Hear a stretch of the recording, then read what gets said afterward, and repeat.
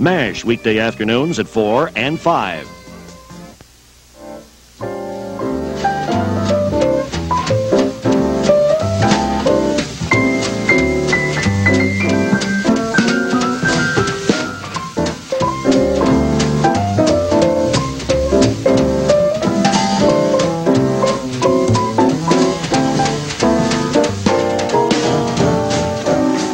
Sounds better here in the studio than it sounds on the three-inch box on your speaker. We have some live music here tonight, courtesy of Mr. Mike Renzi, who's on piano, Rufus Reid on bass, and Donnie Osborne on drums.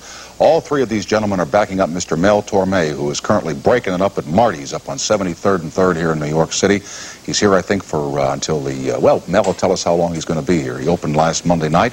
It's his first time back in New York in five years, and it's certainly good to have the former Velvet Fog and the current Mel Torme back on the scene. Uh, Mel was with us, I think, about two, two and a half years ago when he wrote a book called Wynner, a fictional story of a singer, which a lot of us thought was partly autobiographical on Mel's part. Uh, but he's back tonight to talk not about that, but about his uh, return here to New York, his fantastically successful concerts at Carnegie Hall earlier this year, his plans for the future, and his memories of the past. Mel Torme happens to be one of the great trivia experts, nostalgic trivia experts in this country, and he probably knows who was the original Tarzan and who was the original Jane. A lot of people think that it was uh, Johnny Weissmuller, but that's not correct. I think I'll leave that. Uh, I beg your pardon? Uh, no answer was the guy's name, yeah. so Mel will join us shortly, and he has agreed to do one number and one number only tonight, and you're going to love it. We are proud to welcome back tonight a gentleman uh, who has produced, I think, the most response of, I'm going to say, any guest we've ever had on this show, and that's, that's saying a lot because they number about 3,000, 3,200 people that we've put through the mill here in the last seven years. Sterling Hayden was here to talk about his book, Voyages, three years ago, and we spent an hour, uh, he spent an hour philosophizing about the world and what it had done to him and for him, and what he had done to the world and for the world.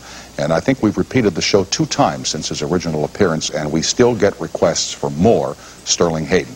Tonight you get more. Mr. Hayden is back now from uh, Yugoslavia, where he went to cover the funeral of President Tito, Marshal Tito, for the Rolling Stone magazine. The funny part, well, it's not funny, but the interesting part of his assignment there is I think he passed on a motion picture that would have paid him $200,000 to go and do this for the Rolling Stone, and he will tell us uh, his observations on the uh, funeral of President Tito. I understand that Sterling is back writing again. He's cramped up in a hotel room here in New York before the typewriter day and night, and he will join us shortly. So we have Mel Torme and Sterling Hayden, and I don't want to waste a lot of time here, so we'll be right back after these messages with Mel Torme and Sterling Hayden. Last show of the week, so stick with us.